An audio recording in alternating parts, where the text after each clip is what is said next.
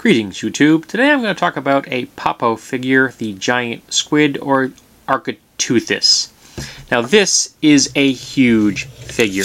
Um, using my handy dandy tape measure here, which has both um, American Standard and metric, it is 17 inches long or some 43 centimeters. This is a really large figure. I'm, I really can't even get it into the shot clearly and give you any real detail.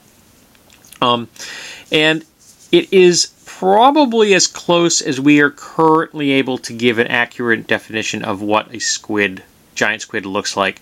Um, there is footage of a giant squid out there in the world now. It has not aired in its entirety. I believe there's, there's like a six second blurb about of, of it out there, which is rather inadequate, into my opinion, to show off one of the great mysteries of the ocean.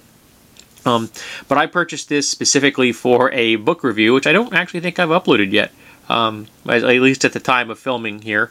And here we have the little spherical, which is the, the jet that um, the squid uses to help propel itself. Um, and its very large eye. Now, I have to say that this is a cool figure in the sense that it represents uh, the giant squid rather well. It has some nice tentacle detailing. Uh, uh, I should say the the leg detailing. These are these are legs. These are not tentacles. These are tentacles. The tentacles actually are well detailed with big pads that would have uh, you know suction cups on them. Um, these are fairly well detailed. And here there is dig around inside.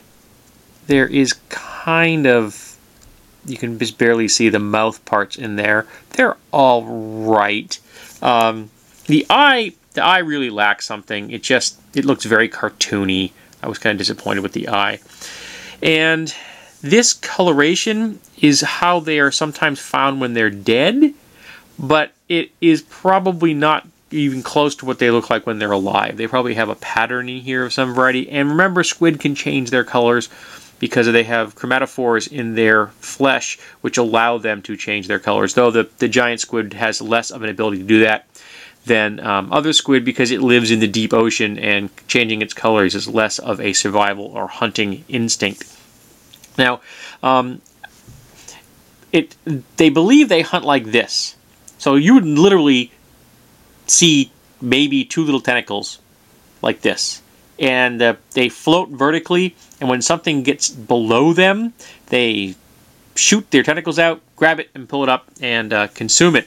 Um, they appear to be um, opportunistic hunters eating anything they can fit into their maw, or their beak, I should say. And the beak is the only hard part um, on a squid, though there is a cartilage um, section in here, which you can find in uh, the squid that we eat, calamari. You cannot eat a giant squid. They have ammonia in their system. How sperm whales eat them is, I think, a bit of a mystery. How do they process the ammonia? But we can't eat them. So giant squids do not make giant calamari.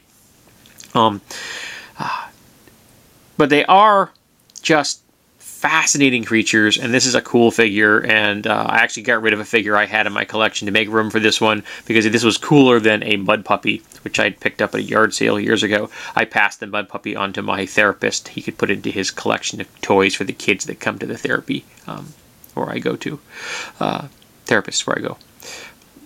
But again, uh, a cool figure, um, a nice representation of an, a real world animal. It just it lacks in a paint job. I was again not really impressed by that, and I think the eyes um, just really failed to convey the true wonder of the animal with like the largest eye in the known animal kingdom.